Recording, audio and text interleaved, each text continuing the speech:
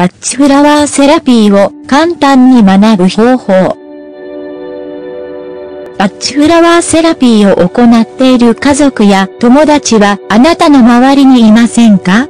バッチフラワーとは感情的な問題を改善するのに効果的なセラピーだということを知っている人もいるでしょう。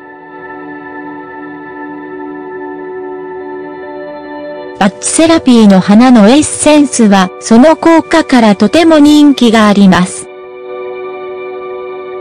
さらに、使っても健康を害する副作用などないのです。今日は、バッチフラワーセラピーが身体と心のバランスを保ってくれる、その基本について学びましょう。ドクターバッチって誰？彼はまた、その直感から有名人でした。彼は感情障害に効く自然療法を見つけたいと強く望んでいたのです。目的は患者の一人一人が自宅で自分の家族と共に簡単に行えることでした。彼はその目的のために一つ一つの植物を研究することに生涯を捧げました。一般的な感情障害を癒すための適切なレメリを探し続けたのです。1920ケラ30年代、バッチは以下のような心の状態に打ち勝つ効果のある植物を発見しました。恐れ、不信、怒り、内気。孤独感、無気力。もっと知りたい本はこちら、バッチフラワーレメディで背中の痛みを軽減しよう。バッチフラワーって何？バッチフラワーとは、それぞれの植物が持つエネルギー溢れる効能を取り入れるため、様々な方法、抽出、すりつぶすなど、を用いて準備される38種類の花のエッセンスです。このエッセンスを利用すると、そのヒーリング効果が私たちの感情の奥深い部分に浸透します。バッチフラワーとは心の応急処置セットのようなものです。バッチフラワーの利点は副作用や禁忌がないという点です。年齢を問わず誰でも利用することができるでしょう。妊娠中や授乳中の女性、赤ちゃん、病気の人も使えるのです。使うのはいつ？人には皆個性とも言えますが、改善したいと思うウィークポイントがあります。時には乗り越えるのが難しい壁となっているかもしれません。バッチフラワーはストレス、環境の変化、痛みの瞬間、うつ状態の時などに有益かもしれません。38種類のエッセンスは様々なグループに分けられます。分けることでそれぞれの治療分野について理解しやすくなるでしょう。恐れ、恐れはまた悪夢、恐怖症、自制心の欠如、過剰な心配に関連しています。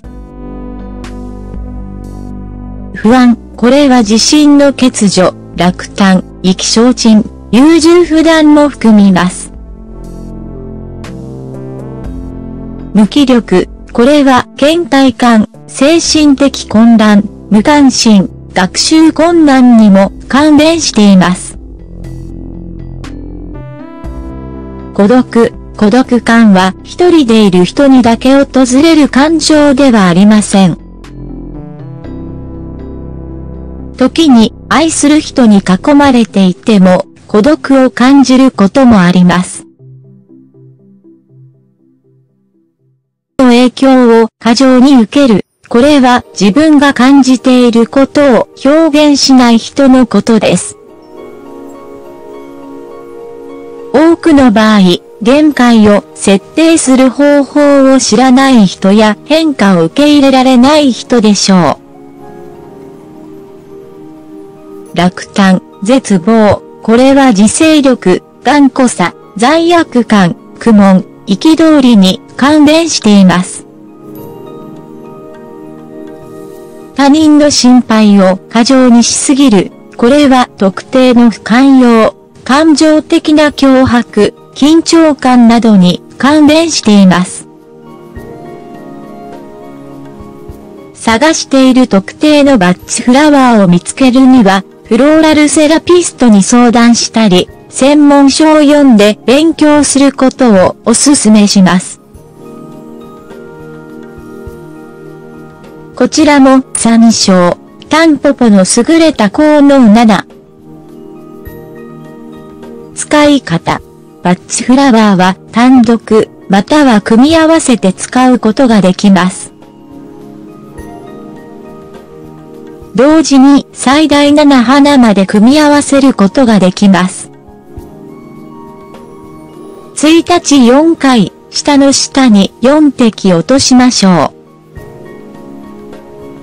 トリートメントは少なくとも21日間続けましょう。理想的な状況は、忍耐強くあること、そして自分の感じることの奥深くに変化が現れるかを観察することです。トリートメントの進歩として修正する必要があることもあります。バッチフラワーは保存料としてアルコールベースで準備されます。ですが、アルコールの代わりに酢を使っても保存できます。バッチフラワーはハーブ専門店などで購入できます。でメディレスキュー。38種類の花に加え、バッチは応急処置としてユニークな組み合わせを作り出しました。これをデメリレスキューと言います。この組み合わせは具体的な危機の治療を目的とし、一時的または即席の解決法として使われています。